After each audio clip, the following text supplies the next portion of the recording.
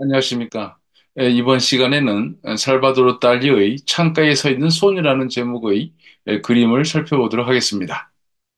참고로 이 작품은 예, 스페인 마드리드의 레이나 소피아 미술관에 있는데요. 화가 달리는 스페인 북동부 어, 프랑스와의 국경에 가까운 피게레스라는 곳에서 태어났습니다.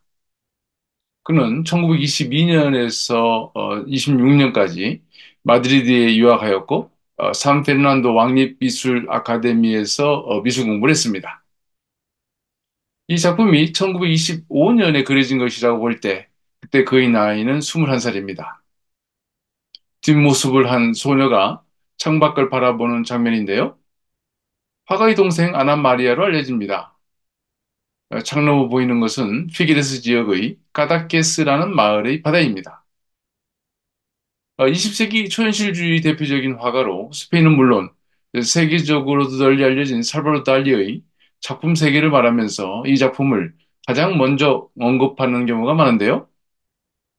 그것은 어, 이 작품이 그의 초기 작품이라는 이유 때문이기도 하고요. 어, 특히 여기서 보이는 사실적 묘사는 이후 초현실주의적 작품과는 어, 결이 다른 그래서 그의 그림의 변화를 엿볼 수 있는 작품이라는 차원에서 설명되지만 아, 그 밖에 이 작품이 갖고 있는 가치에 대해서는 구체적인 설명을 찾아보기는 어렵습니다. 글쎄요, 굳이 기법적으로 언급한다면 백피규어 스타일로 그렸다는 점을 말하고 하는데요. 어, 카스파르 다비드 프리드히가 1822년에 그린 창가의 여인 또는 창가에 서 있는 여인이라는 제목의 작품을 보면 그 형태나 제목에서 달리의 이 작품과 유사성을 보이고 있는 것은 사실입니다.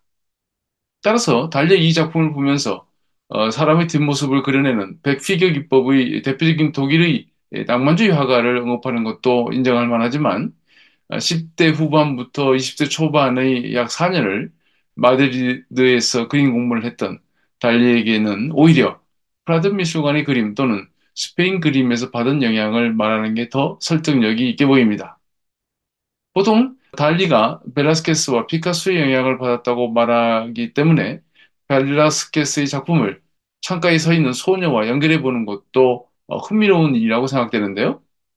그렇다면 어, 청년의 달리는 창가에 서 있는 소녀라는 작품을 그리면서 벨라스케스의 작품에서 어떤 영감을 받은 것일까요? 어린 달리는 도대체 어떤 의도를 갖고 자신의 여동생을 모델로 어, 그녀의 뒷모습을 그렸던 것일까요? 네, 이 그림에서 제가 주목하게 되는 것은 바로 현실과 허구에 대한 이야기입니다. 그림에서 소녀가 서 있는 방은 화가 달리와 그의 동생에게는 현실이 공간이 됩니다. 한편 중앙의 창문을 통해 보이는 밖의 세계에는 방과는 전혀 다른 공간이 되죠.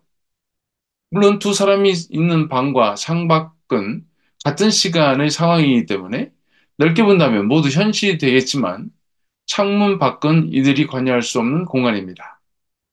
아울러 이 창문 밖의 공간은 현실로 인식되는 실내에 비해서 허구의 공간으로 인식될 수 있습니다. 모델이 등을 돌려 화가를 바라본다면 창문 자리에 바다를 배경으로 한 큰 그림이 걸려 있다고 해도 큰 무리가 없는 모습이 될 것 같습니다.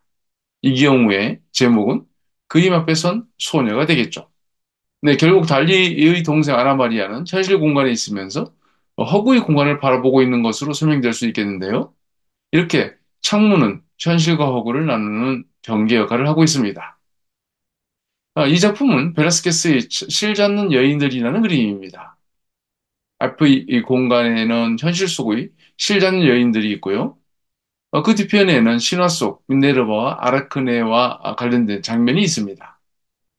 아, 물론 앞의 공간은 화가 벨라스케스와 당시의 여인들이 함께 있는 공간으로 인식되고요.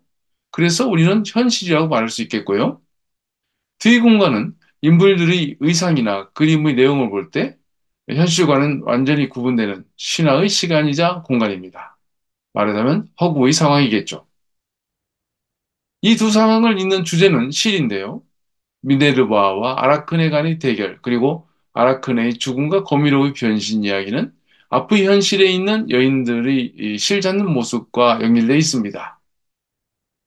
현실 뒤 신화 속 사건은 앞에서 달리의 창가에 서 있는 소녀에게서와 유사하게 그림 대신에 테피스트리를 걸어놓는다 해도 전혀 문제가 없게 보이는데요.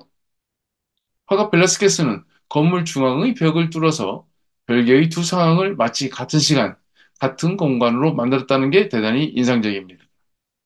특히 신화, 즉 허구 속의 여인이 현실의 공간을 응시하는 모습은 전혀 다른 시간과 공간을 연결하는 효과를 내고 있어 매우 흥미롭습니다. 이 작품은 프라도 미술관이 아닌 영국의 내셔널 갤러리에 있는 마르타와 마리아의 집에 있는 그리스도라는 작품입니다. 여기에서도 화가 벨라스케스는 오른쪽의 벽을 뚫어 현실과 허구의 공간을 동시에 보여주면서 연기하고 있는데요. 앞의 그림과 유사하게 성서 속 시간과 공간은 두 여인과 화가 벨라스케스가 있는 현실과 벽을 사이에 두고 나눠지면서 동시에 연결되고 있습니다. 여기에서도 현실 속 노파의 손가락이 허구의 상황을 가리키고 있어 그 효과를 주목하게 됩니다. 결국 벨라스케스가 벽을 뚫어 두 공간을 구분하면서 연결했다고 한다면 창가에 서 있는 소녀에서 살바로 달리는 창을 통해 그 효과를 내고 있음을 알 수 있겠는데요. 두 작가를 연결해 볼 수 있는 대목이 아닐 수 없습니다. 흔히 이렇게 그리는 기법을 작품 속의 작품, 음, 그림 속의 그림 등으로 표현하고 있는데요. 그림뿐 아니라 다른 장르에서도 이 방법을 쓰고 있어서 소설에서 말하는 액자 소설이라는 것과 어, 극에서는 극중극 등도 이와 같은 범죄에 들어 있습니다. 네, 다시 현실과 허구의 문제로 들어가서 화가와 모델이 있는 곳이 현실이라는 시간과 공간이라고 말한다면 이 그림에서는 방안이 현실이 되지만 만일 두 사람이 창밖의 바다 쪽으로 나가서 이 창문을 배경으로 그린다면 바다 쪽이 현실이 되는 것이고 현재 화가와 모델이 있는 곳은 허구의 공간으로 바뀐다는 사실을 주목하게 됩니다.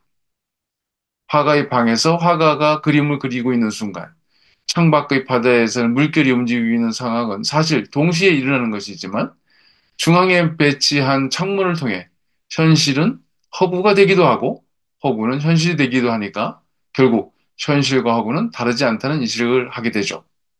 다시 말해 화가의 눈으로 보는 세계가 바로 현실이고 그 이면의 세계는 허구지만 결국 현실과 허구의 차이는 화가가 어디에 있느냐의 문제지 현실과 허구가 다르지 않다는 점을 말하고 있는 것 같습니다.